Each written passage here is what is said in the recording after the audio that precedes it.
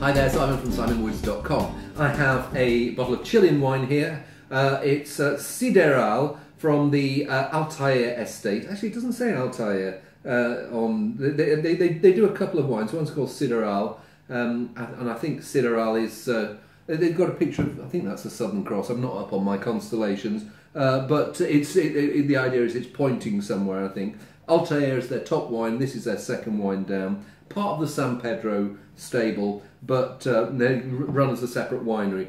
And um, so this is Cabernet Sauvignon with Syrah and Cabernet, Carmenere, well, Cabernet Franc and Petit Verdot.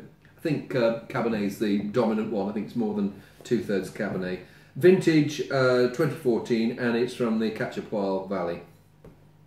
Very Chilean in its black currant intensity.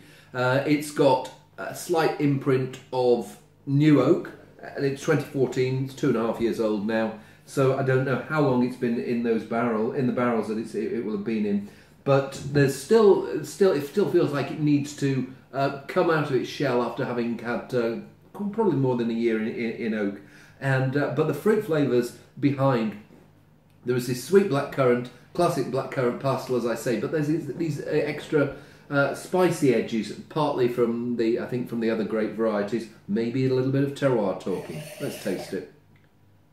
Actually, I haven't got round to tasting it yet. I'm just sniffing it again. And the more I, I, I, I, I swirl it, the more there are these slightly spicy tobacco notes coming out. And I don't know whether that's a bit of the Cabernet Franc talking. Uh, I don't think there's too much Cabernet Franc in there. I, I thought it was mostly, uh, I thought it was like about 75 Cabernet with and Carmenere and Syrah made up the rest of them. But there is some, certainly something spicy tobacco-like that is uh, jumping out of the glass the more I swirl it.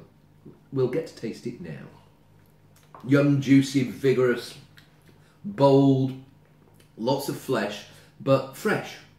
And it doesn't feel like there's anything there that's out of balance with with anything else. Yes, there is the uh, the oak imprint, and yes, there is this really ripe fruit, but it doesn't feel like they're they're sitting awkwardly together. And there are these spicy notes. And I think with with time, either time when you've uh, decanted it and given it a chance to breathe, or with further time in bottle, I think there's going to be more uh, complexity, more of those smoky, slightly herby characters which are sitting in the background. I think those are going to come more and more to the front. Uh, as it is now, it's pretty tasty wine, uh, but I think in three or four years' time, and uh, maybe quite a long, long way beyond that, it's going to give even more pleasure than it is uh, doing today. But pretty, pretty decent today, and uh, uh, I will trouble is, I've got I, am tasting a load of wines today, and the good thing about it is it feels like it's one of those wines that will be better tomorrow.